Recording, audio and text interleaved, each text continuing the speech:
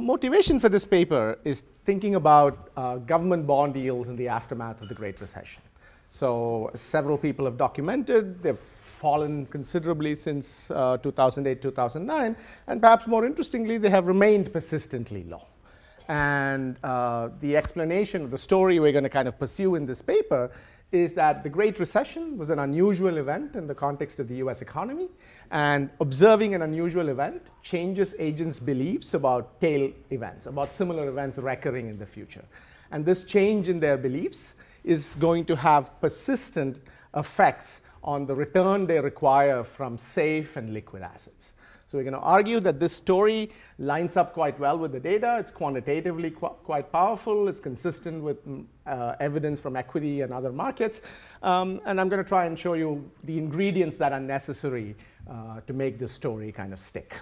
Okay, so that's kind of the plan for the next 15 minutes or 17 minutes. So here are the key ingredients of the paper.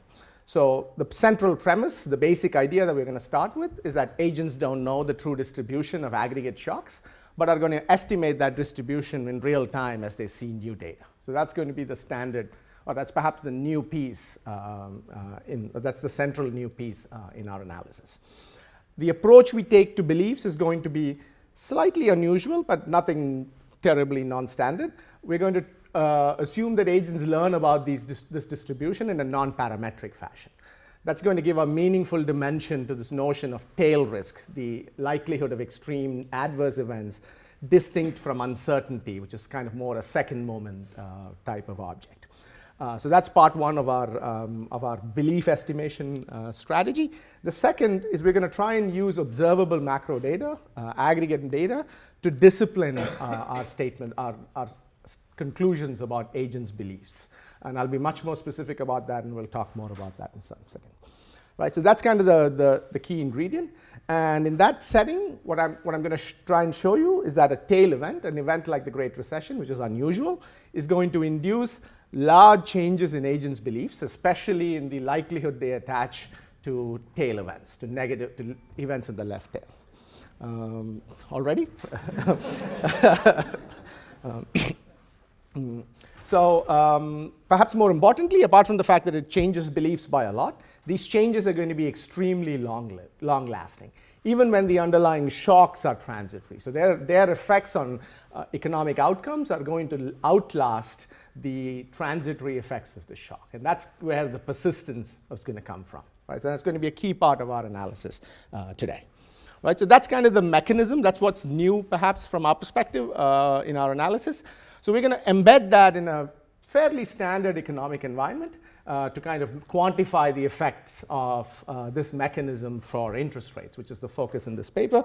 Um, and one key, you know, we're going to add a bunch of things that are necessary perhaps for quantitative um, relevance. And one of the key ingredients is going to be liquidity constraints. So these, the safe asset, the riskless asset in our economy is also going to provide liquidity services. And the change in tail risk will interact with that liquidity provision uh, in an interesting way. So we're going to come back to that uh, when I get to the mechanism. So the upshot of all that is that the observing an event like the, uh, the, Great Recession is going to lead to a large and persistent drop in riskless rates. So in our, under our calibration, that's about 1.45%. Um, and I'm, I'm going to show you that the model's implications for things like options prices are actually consistent with the data in a particular way. So I'll, uh, I'll talk more about that when I get to the results. So that's the plan of action for the next, uh, for, this, for the rest of the talk. Okay, so let me kind of spend a little bit of time on the belief formation, the new piece here, and I'll, and I'll go through quickly the, the economic environment because I want to get to the results. Right, so think about agents trying to estimate an unknown distribution G of an IID shock process. So they know the shock is IID, they just don't know the distribution it's drawn from. They have a finite history of shock realizations, um, and they're trying to fit, fit this distribution. So as I said at the beginning, our goal is a relatively flexible specification that's both tractable, but it also can capture changes in tail risk and not just parametric changes in, uh, you know, in, in second moments. And the approach we're going to take is we're going to do a very standard non-parametric estimation uh, the Gaussian kernel density. And here is the form of the Gaussian kernel density. Um, the parameter kappa indexes the, the bandwidth of the, of the kernel. Uh, and it basically just, uh, just, rather than kind of dwell on this formula, let me show you an example about how this works. Most of you in this room should be very familiar, so this shouldn't come as a surprise. Uh, but it's useful to kind of just highlight uh, exactly how this is going to work. So on the left is the kernel density estimated on this finite sample. Um, and um, you know, so the blue bars are the actual observed frequency distribution, the histogram. The kernel essentially just draws a nice smooth line through that, and kappa is basically controlling how smooth that line has to be. Right? So after you see a tail event, and the tail event here is going to be those you know, a, a, really bad realization about 0.85 and a really bad one around 0.93. As you can see, they are well outside the, the realm of the, uh, the realizations before such an event. So how does the kernel deal with that? The kernel basically kind of, you know, it takes a little bit of the mass away from here and shifts it there and draws a smooth SPDF uh, all the way through. Right? So that's going to be the updated belief. It's a little bit more pessimistic, and in a, in a particular way, it's going to have more mass in the left tail, and that's where all the action, uh, uh, and that's what's going to deliver all the action uh, in the model. So this is about how beliefs change. Uh, but as I said at the beginning, what we are perhaps more interested in is why, uh, how persistent are these belief changes. Um, so let me try and highlight that, you know, again, using the same example. So you know, so this is g hat t estimated after the tail event uh, has been realized. So, you know, we're, let's say we kind of take this economy forward for another, you know, 30 years, and let's see what happens to beliefs in this, uh, in this setting, right? So uh, now we have to take a stand on where we are going to draw time paths for this economy from. If you kind of simulate this economy by drawing from g hat t, the updated uh, estimate of the agent's distribution. In other words, we're putting ourselves in the shoes of the agents and asking what is be our best guess for sh uh, where shocks are going to come from. Um, then this setting has a kind of martingale property. So the martingale property here holds approximately. So the idea that beliefs uh, on average uh, out in the future are going to be the same as beliefs today right? So that's where that's, that already kind of tells you a, fair, a very strong uh, result about persistence, that these belief changes are going to stick around for a long time, at least on average. Right? So that's one, that's one point I want to make.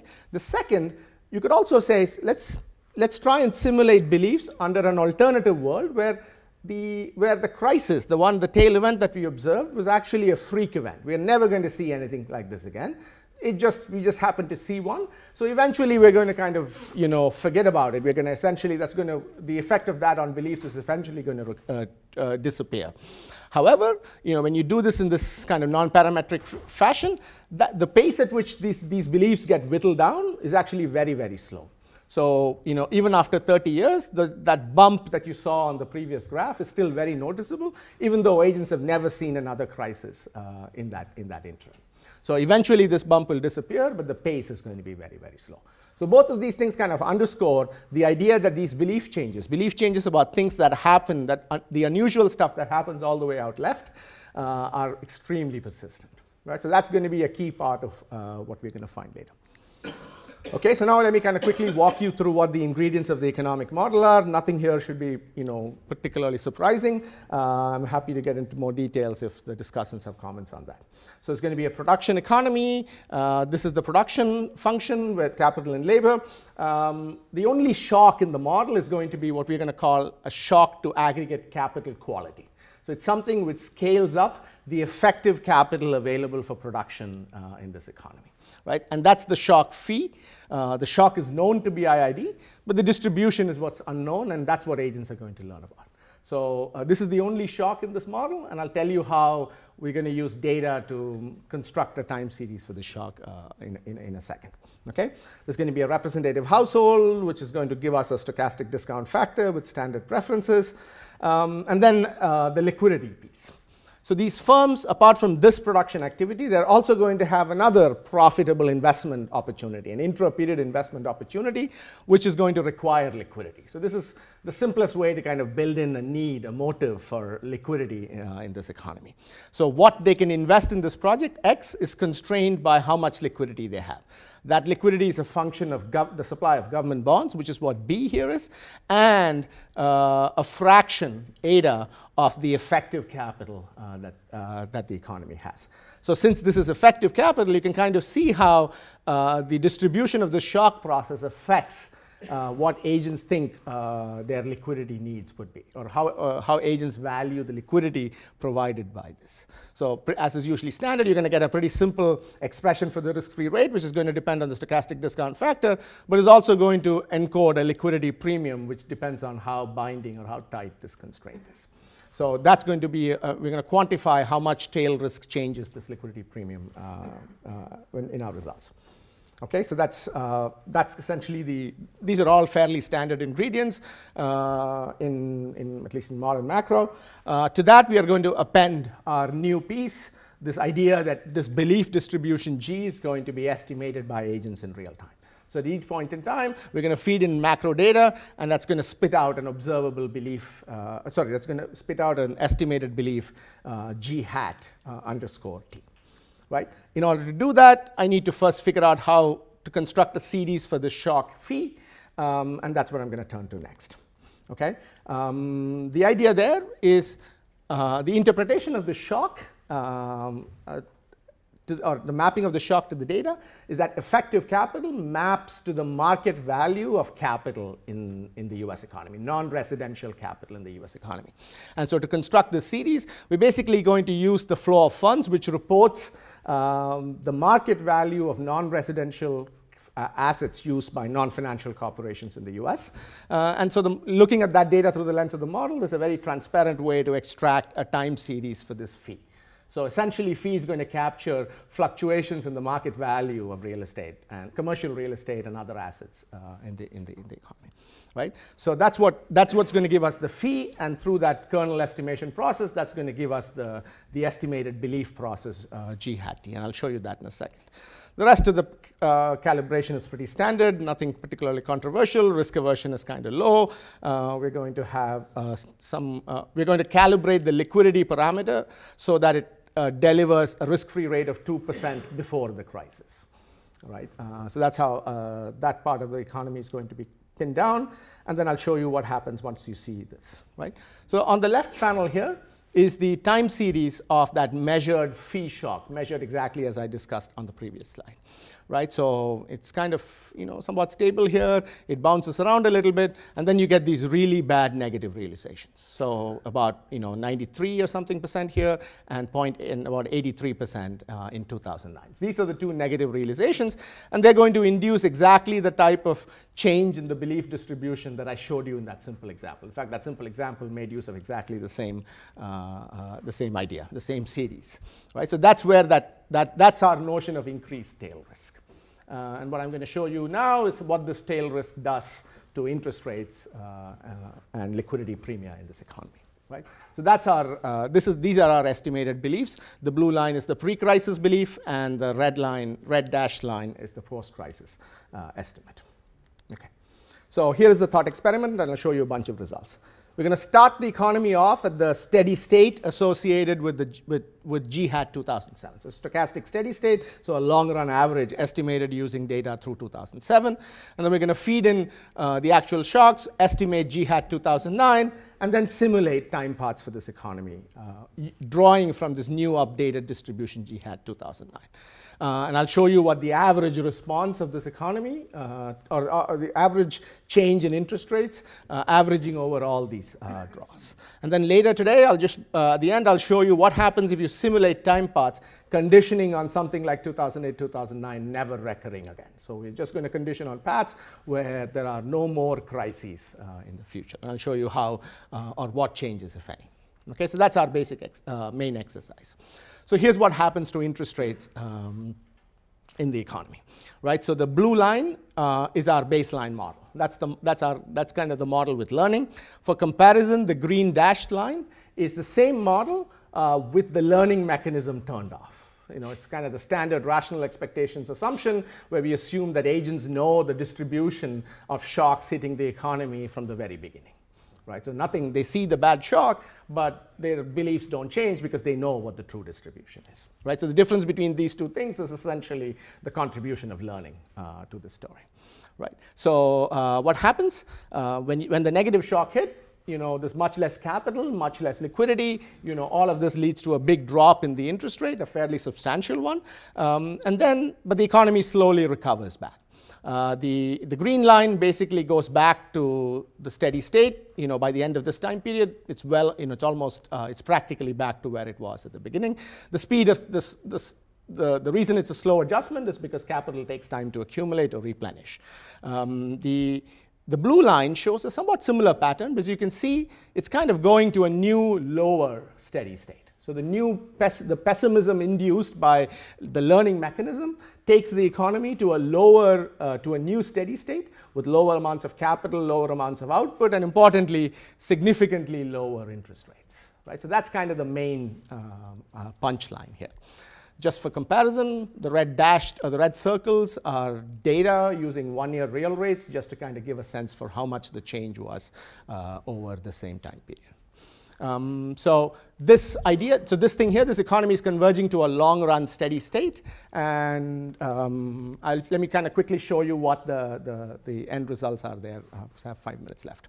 So like I, as I mentioned, the, the, the, model predicts that in the long run, interest rates, are, riskless interest rates are going to be 1.45% lower. And here we collected a bunch of estimates for how much long run interest rates have, or interest rates both short and long run have changed. And you know, this is kind of in the right ballpark uh, in terms of how much the changes are. Uh, we'll talk more about this hopefully after the discussion if there are any questions.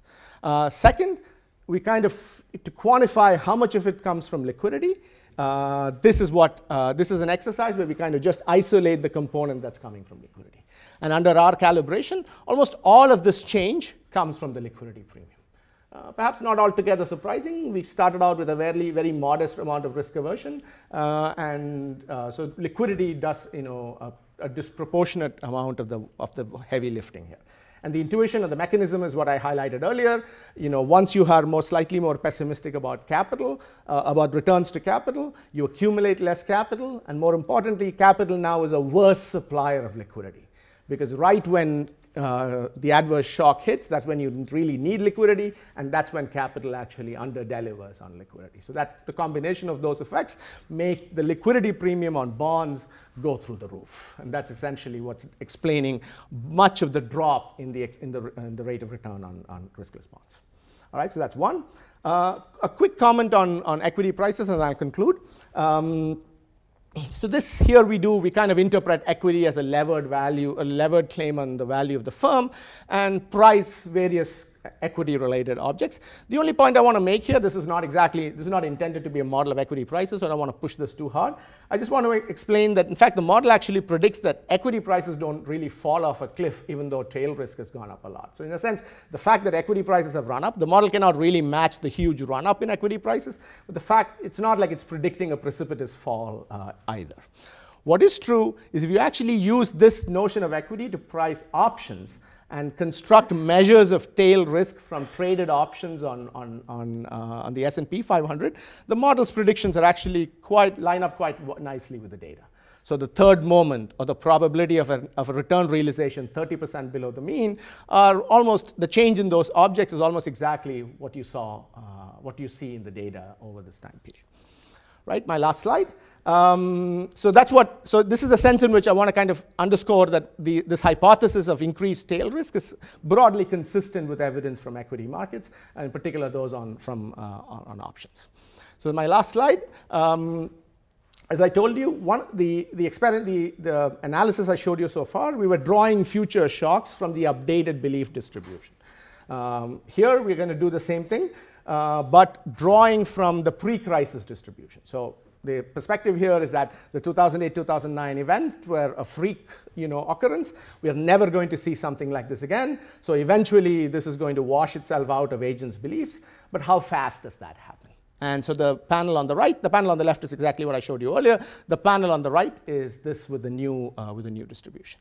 So as you can see, there in what, by the end of this period, it was about 150 basis points. Here, the drop in interest rates relative to the pre-crisis level is about 100 basis points. So if I kept extending this, this is going to go to zero, but this at least kind of gives us a sense that this, re this reversion back to normal can take a very, very long time.